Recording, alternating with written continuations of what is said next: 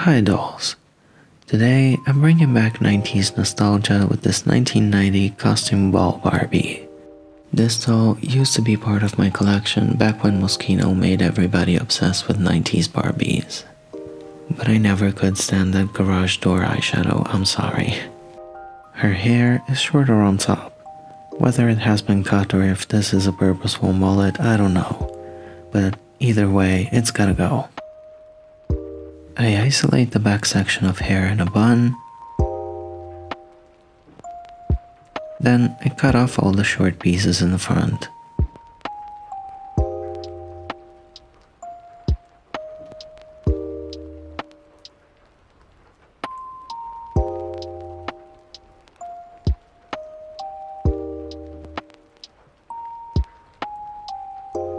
I remove all the plugs from the inside using a screwdriver.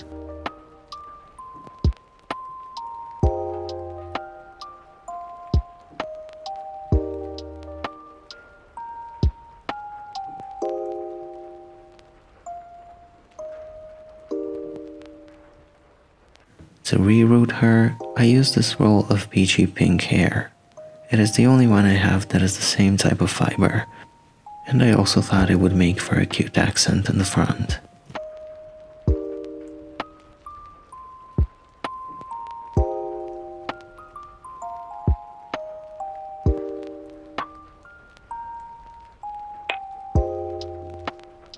Because the new hair comes pre-curled, I need to make her original hair match.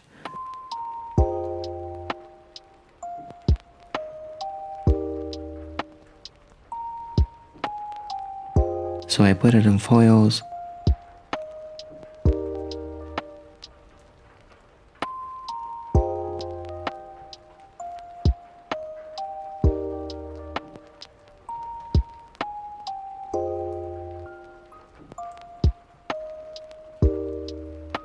And I boil permit.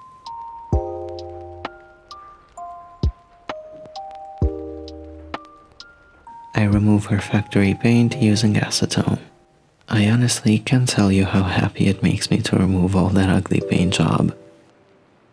I left the front of her eyebrows intact as a guide. With this being my first time repainting a 90s face mold, I didn't want to fuck it up. I begin by sketching in her eyebrows. Then I sketch in her new eye shape.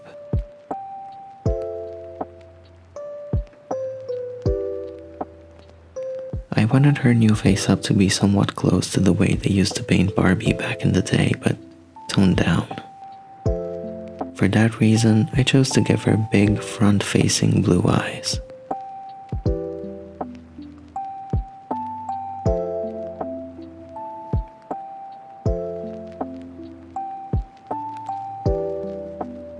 I cut her crease with white. Then I go in and lay a foundation for the teeth.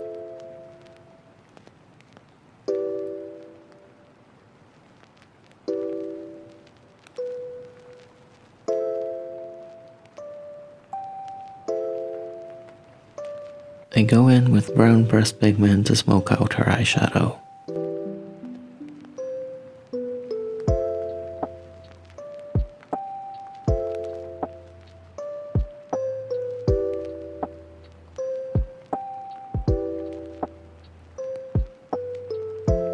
When I'm happy with the way she looks, I go in with black pencil and outline everything.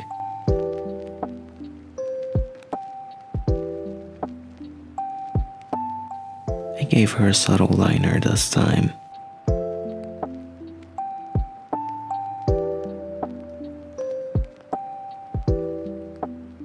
I paint in her pupil using a nail art dotting tool.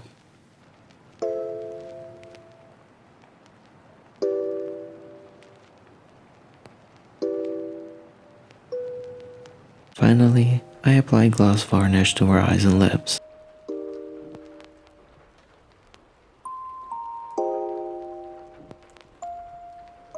For her dress, I thought I should challenge myself for once and make it entirely out of plastic candy wrappers.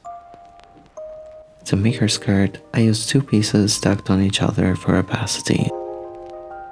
I turn the whole thing with the seams facing in and sew over it. Because this is plastic, I want to make sure nothing breaks on me.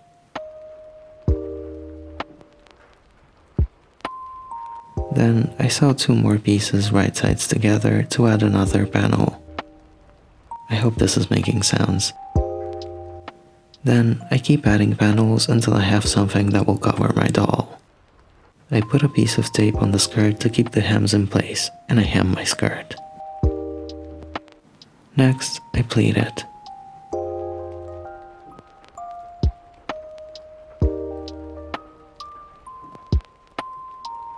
And I sew a waistband on top.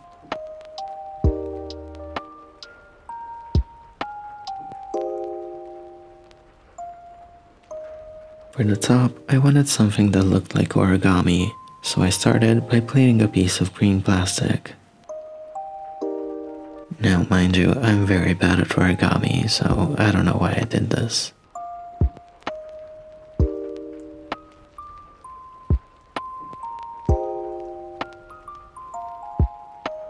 Then I take two pieces and fold them so I get the right amount of opacity. And I place them on her waist.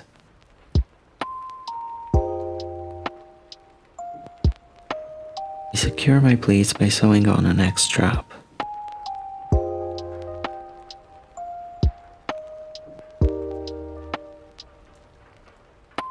And I add some ribbon at the bottom that will tie in the back.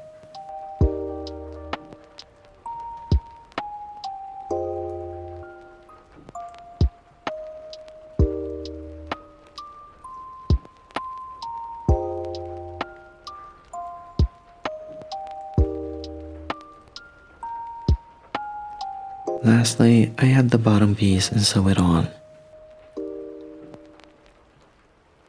And with that she is done. If you enjoyed this video, please leave a like and consider subscribing.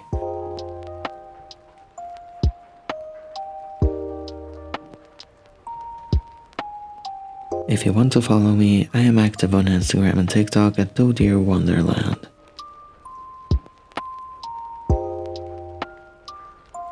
Thank you guys for watching and I'll see you soon.